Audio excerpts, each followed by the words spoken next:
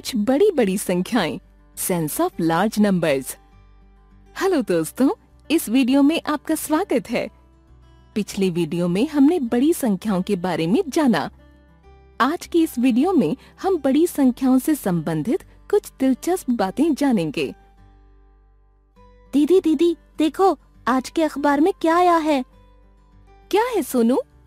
इसमें लिखा है कि भारत के शहर दिल्ली की जनसंख्या लगभग दो करोड़ हो चुकी है। साथ ही इसमें यह भी लिखा है कि दिल्ली की आधी जनसंख्या उन लोगों से मिलकर बनी है जो भारत के अन्य राज्यों से वहाँ काम करने आते हैं। इसको दिल्ली की बढ़ती जनसंख्या का सबसे बड़ा कारण भी माना जा रहा है। दीदी, यदि दिल्ली की कुल जनसंख्या में से आधी जनसंख्या वापस अपने अपने शहरों और गाँवों में चली जाए तो दिल्ली की जनसंख्या कितनी रह जाएगी? आप चाहें तो वीडियो को यहाँ रोककर सोच सकते हैं। दिल्ली की जनसंख्या दो करोड़ है। इसका आधा हुआ एक करोड़। पर दीदी, यह कैसे हुआ? दो करोड़ का आधा, यानी इसके दो बराबर भाग करना, जिसके लिए हम दो करोड़ को दो से भाग करेंगे। यानी दो हुआ भाजक और दो करोड़ हुआ भाज्य। अब भाज्य का पहला अंक दो है और भाजक भी दो है।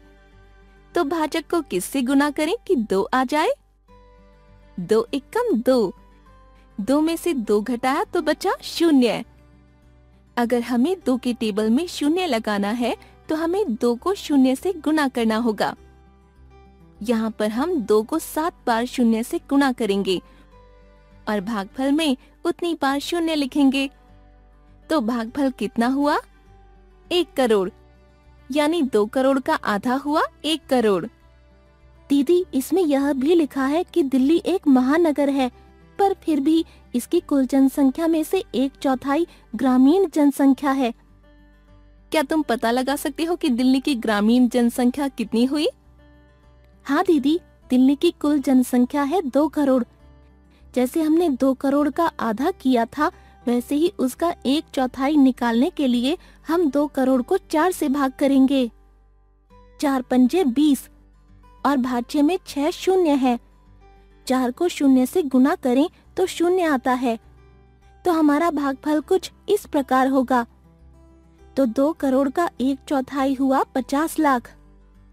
अरे वाह, सोनू, तुमने तो झटपट उत्तर निकाल दिया। पर दीदी, यहाँ देखो, यहाँ दिल्ली की जनसंख्या को ऐसे लिखा है। तो हमें यह कैसे पता चलता है कि हमें अल्प विराम कहाँ लगाने हैं? देखो सोनू, हज़ार, लाख और करोड़ की संख्या लिखने के लिए टेबल बनाना तो तुम्हें आता ही है। तो पहले टेबल में सभी अंकों को सही जगह पर लिख दो। अब दाई यानी कि राइट ओर से शुरू करते हुए बाई यानी लेफ़्ट की ओर बढ़ो। सौ के बाद एक अल्प विराम लगाओ। फिर दस हज़ार के बाद, फिर दस लाख के बाद। अब देखो क्या हमारी लिखी हुई संख्या और अखबार में लिखी हुई संख्या के अल्प विराम एक जैसे हैं? हाँ दीदी, यह तो बहुत आसान था। इसे हम संख्यांकन की भारतीय पद्धति, यानी कि इंडियन सिस्टम ऑफ़ न्यूमरेशन भी कहते हैं। चलो अब मुझे बताओ कि अगर हमें पचास लाख को भी ऐसे लिखना हो तो हम कैसे लिखेंगे? सबसे पहले तो हम टेबल के अनुसार पचास लाख लिख देंगे और फिर बाई ओर से सौ के बाद एक अल्प विराम लगाएँगे और दस हज़ार के बाद एक अल्प विराम लगाएँगे। हाँ बिल्कुल सही उत्तर।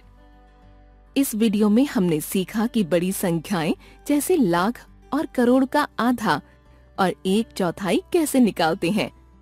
और भारतीय संख्यांकन पद्धति के अनुसार अपविराम विराम कैसे लगाते हैं? धन्यवाद।